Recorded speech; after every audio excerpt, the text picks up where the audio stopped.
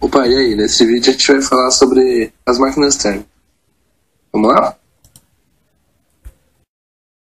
Alguns dos famosos exemplos de máquinas térmicas são os antigos trens, como a Maria Fumaça, ou também as termoelétricas, que utilizam o calor como fonte de energia. Para dar um exemplo de funcionamento, temos essa máquina térmica, cujo funcionamento é semelhante ao das termoelétricas.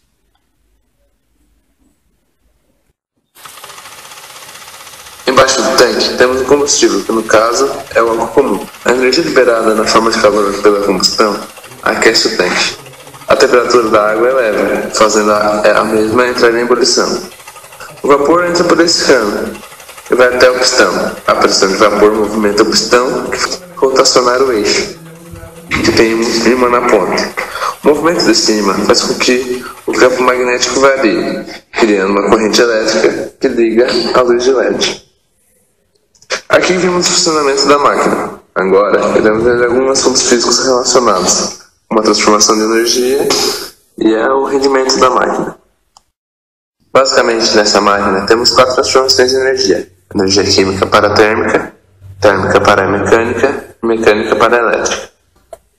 Mas uma máquina térmica não converte totalmente o calor recebido em trabalho, para onde vai a cada ciclo a parte do calor que não realiza trabalho?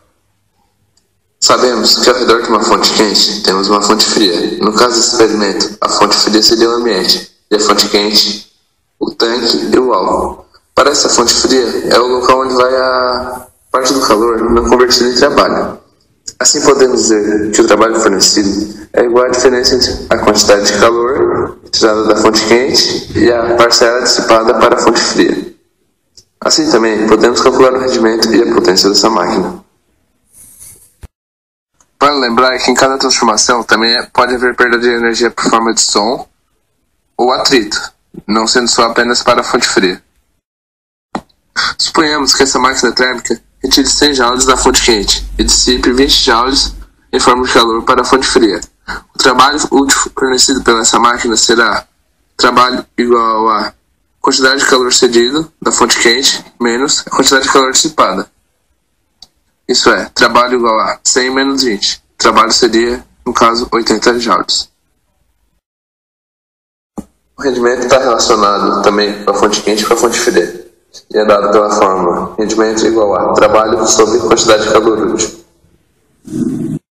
Assim, o rendimento da máquina do exemplo anterior seria rendimento igual a 80 sobre 100, no caso, 80%.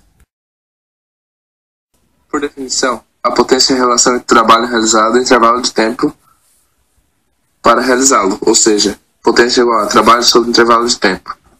No mesmo exemplo, caso o intervalo de tempo fosse 0,5 segundos, teríamos que potência igual a 80 sobre 0,5, dando 60, 160 watts, que é, a, que é a unidade de potência no sistema internacional.